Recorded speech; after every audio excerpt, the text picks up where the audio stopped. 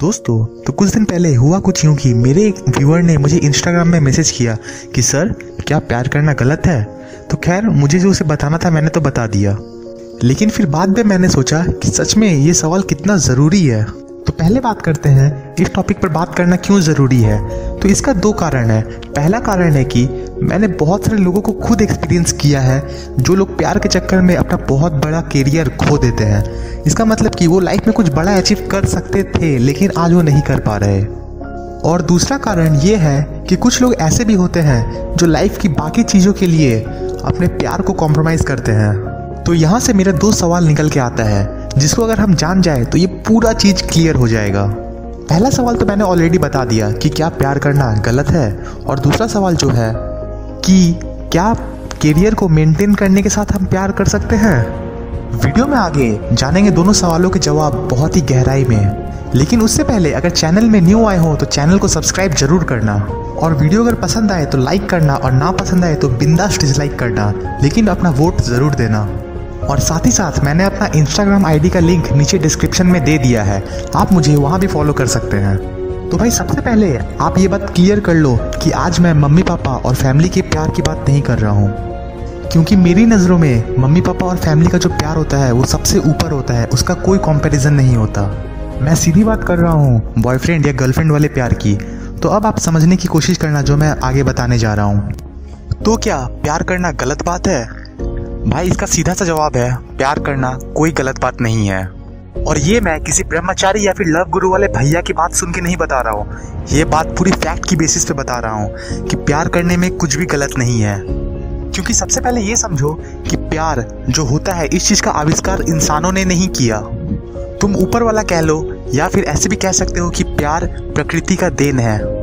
यानी कि प्यार एक नेचुरल फेनोमेनन है, जिसमें इंसानों का कोई कंट्रोल नहीं।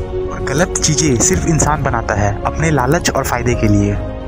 प्रकृति ने हमें इतना कुछ दिया, पेड़, पौधा, झील, हवा, और इंसान सिर्फ़ अपने फ़ायदे के लिए गलत चीज़ बनाता गया।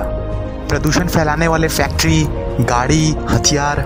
कहने का मतलब यही है कि प्रकृति ने या फिर ऊपर वाले ने अगर लड़का और लड़की बनाया है, और उसे केमिकल लोचा कह लो या फिर हॉर्मोन्स का खेल बोल लो, यानी कि अगर फीलिंग्स दोनों में एक दूसरे के लिए दिया है तो फिर वो गलत नहीं है। तो इससे ये साबित होता है कि प्यार करना कोई गलत बात नहीं है। लेकिन कुछ लोगों के लिए कुछ समय पर प्यार गलत चीज़ बन जाता है। जी, बिल्कुल। प्यार करना भी कभी कभी गलत बन जाता है। और इस चीज़ को समझाने के लिए मेरा दूसरा सवाल है, यानी कि क्या कैरियर बनाने के साथ साथ हम प्यार कर सकते हैं? तो हाँ अगर तुम एक छोटा सा करियर बनाना चाहते हो और साथ ही साथ अपने प्यार को भी अपने साथ रखना चाहते हो तो तुम करियर बनाने के साथ साथ प्यार कर सकते हो। लेकिन दोस्त, अगर तुम्हारा लाइफ में कुछ बड़ा एम है, कुछ बड़ा बनना चाहते हो या फिर कुछ बड़ा हासिल करना चाहते हो तो फिर प्यार करना तुम्हारे लिए गलत हो जाएगा।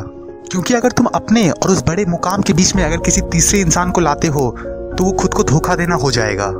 इसको समझाने के लिए दो एग्ज़ाम्पल लूँगा, चंद्रगुप्त मौर्य और भगत सिंह का। अखंड भारत का एक लौता सम्राट चंद्रगुप्त मौर्य एक बार उसको धनानंद की बेटी से प्यार हो जाता है तो वो चाणक्य पंडित से जाके पूछते हैं कि गुरुजी, मेरा मन विचलित हो रहा है, मुझे प्यार हो रहा है तो क्या प्यार करना गलत है? तो चाणक्य पंडित उसे बोलते हैं, चंदू, प्यार करना कोई गलत बात नहीं है, लेकिन प्यार करना तुम्हारे लिए गलत बात है, क्योंकि तुम एक बहुत ही बड़े लक्ष्य के पीछे काम कर रहे हो। और दूसरा एग्ज़ाम्पल है भगत सिंह का 21 साल का वो लड़का जिसकी बुलंदी को कोई कभी नहीं भूल सकता। भगत सिंह की माँ जब भगत सिंह को बोलती है, बेटा, शादी कर ले, घर में एक बहू ले आ। तो एक चिट्ठी घर पर छोड़ के वो कानपुर भाग जाते हैं। और उस चिट्ठी पर भगत सिंह लिखते हैं कि, माँ, मैंने अपना ये शरीर अपने देश को दे दिया है। किसी छोटे कारण के लिए एक लड़की को नहीं देना चाहता। एक और नाम लेना चाहूँगा doctor A APJ Abdul Kalam की। डॉक्टर एपीजे से जब पूछा गया एक इंटरव्यू पर कि, सर, आपने शादी क्यों नहीं की? तो पता है वो क्या कहते हैं? वो कहते हैं कि, मुझे याद ही नहीं रहा। तो दोस्तों, अब आप ही सोचो, क्या इन तीनों के लाइफ में कोई लड़की होती तो क्या ये तीनों इतने बड़े बड़े काम कर पाते? क्या वो छोटा सा बच्चा चंदू, अखंड भारत का सम्राट बन पाता, चंद्रगुप्त मौर्य बन पाता? या फिर क्या भगत सिंह अगर एक छोटे क्रांतिकारी बन भी जाते तो क्या वो अपने देश के लिए अपनी जान दे देते इक्कीस साल की उम्र पर?